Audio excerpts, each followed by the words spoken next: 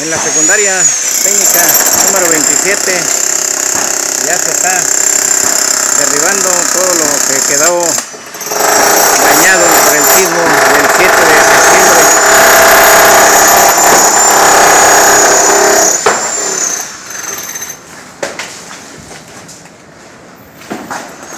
Trabajando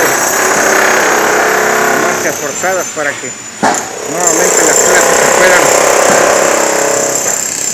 tener.